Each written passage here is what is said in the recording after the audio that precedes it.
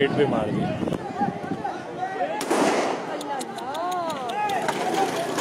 मार, इसको मार दिया।